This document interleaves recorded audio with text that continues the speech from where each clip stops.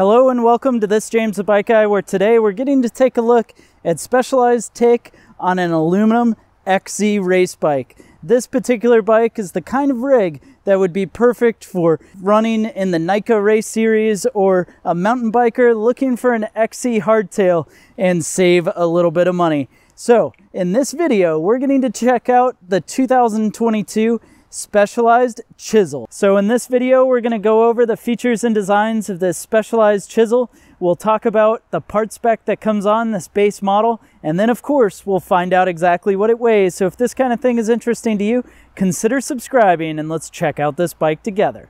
So beginning to talk about the Specialized Chisel, we should talk about where this comes from.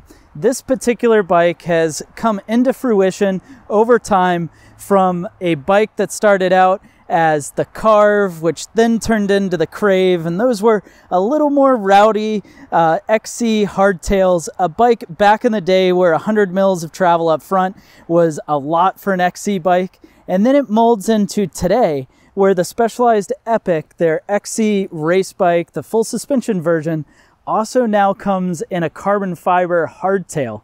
And so Specialized needed a bike to come in and kind of reach into that area of a more affordable price point of a XC hardtail with an aluminum frame but some pretty solid performance. So this bike being the base model Chisel comes in at $1,800 and then there's a Chisel comp above this that runs about $2,400 at least as of right now. And both of those bikes are going to share the same XC aluminum frame. And this aluminum frame is a pretty neat setup with a D'Aluisio Smart Weld head tube. So it's made out of their M5 aluminum frame. And this D'Aluisio Smart Weld, you can see the head tube is a forged piece of aluminum that then is welded kind of all as one piece together to this top tube and down tube junction. They've been doing this style of head tube and in fact a bottom bracket for a while on their Allez road bike and it's allowed the bikes to ride way nicer but also still be quite a bit stiffer than a traditionally constructed bike. Saves a few pieces, uh, lightens it up. It's a really neat technology that Specialized has. And I've owned road bikes with the D'Aluisio Smart Weld front end and I gotta say, it really works. So I imagine on a mountain bike, that's a nice feature. Now this frame is very good looking in my opinion because it's a little more slender than what you often get with some of these bikes now that have gigantic tubes. Kind of gives it a nice look. And as you go down to the center, you will see it does have a threaded bottom bracket. A nice feature to see there. And going out back through what seems like small chainstays compared to some of the newer bikes today, you've got a through axle and then the rear stays have just a little bit of bow to them. You see them come out? That should allow the bike to be a little more compliant and a little softer riding out back. This being an XC performance bike, it does not come stock with a dropper post, although you can add it with a 30.9 seat post, a dropper, and internal routed, and you'll see it comes out just in front of the head tube. Now it is all internally routed for shift and brake as well. Super nice to see and a very clean setup. And to make the bike capable on the XC trails, you have 100 millimeters of front suspension up front, courtesy of a RockShox Judy we'll get into later, and then some very XC inspired geometry. So those who are looking for long and slack, well, this isn't the bike for you. They make something called the Fuse, which is a much more rowdy, longer travel, slacker hardtail but this particular one has a 68 degree head tube angle, a 74 degree seat tube angle, and then a chainstay length of 432 millimeters. To the Endurbros, that's definitely not going to set the world on fire, but those are the kind of numbers that you need to have a fast handling, quick bike to be able to get around on an XC trail. Dropping into the part spec of the bike, we'll start with the 100 millimeter front suspension through this RockShox Judy fork. So this has 100 millimeters of suspension as we were saying. It uses their turnkey lockout.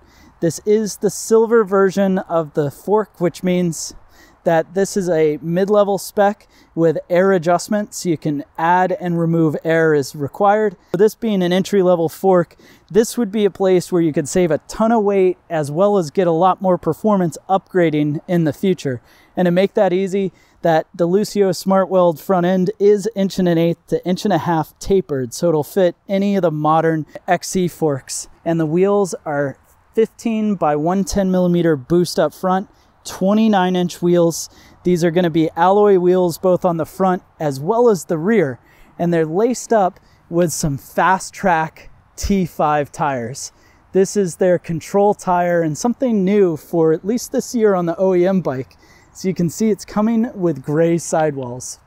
It's a small feature that I think looks really nice. I hope they start selling that aftermarket and it goes well with that charcoal look of the frame. Now this tire is in a 29 by 2.35 width. It is tubeless ready. Wheels are tubeless ready so you can set all that up. And then in back is going to be a SRAM SX drivetrain. This SX drivetrain features SRAM's Eagle SX rear derailleur. It's a clutched rear derailleur that operates a 11 to 50 tooth rear cassette. So quite a wide range out back and then drives forward to the SRAM SX crankset with a 32 tooth narrow wide chainring. And to shift that rear derailleur through its 12 speeds is an SX shifter. Thumb button brings you to an easier gear, and then you've got a thumb button forward that brings you to harder gear. And slowing the bike down comes through the level T brakes from SRAM. This is another spot where I could see an upgrade in the future. The level Ts are adequate, although I'd love to see something with slightly more power and a little less chunkiness on the handlebar, but it does clamp down on two piston calipers, both on the front and the rear. And to keep control of the bike is through a specialized XC Mini Rise handlebar. So this is a nice wide handlebar with an 8 degree sweep for a comfortable position. You can also see you've got a slight rise to the handlebar as well. And then the stem is a specialized alloy stem as well. And out back, your saddle is mounted up on an alloy 30.9 seat post, of course, replaceable with a dropper in the future if you wanted, and a body geometry power saddle. This power saddle is one of the truncated nose saddles. You can see the front end is a little bit shorter to alleviate some pressure on the tubing downstairs. Well, now that we've taken a look at the features and designs of this bike, I think it's time we find out what the Specialized chisel weighs. The actual weight of the Specialized chisel in a size medium comes in and weighs 26.48 pounds. Thanks so much for joining me to check out this 2022 Specialized chisel. Go ahead and let me know your thoughts about this bike. Is it worth the $1,800 price tag? Would this be a perfect bike if you were getting into XC racing and a great place to start? I'd love to know those thoughts down in the comment section below. And while you're at it, be sure to hit subscribe if you haven't already and browse the channel to see more videos like this to check out as well.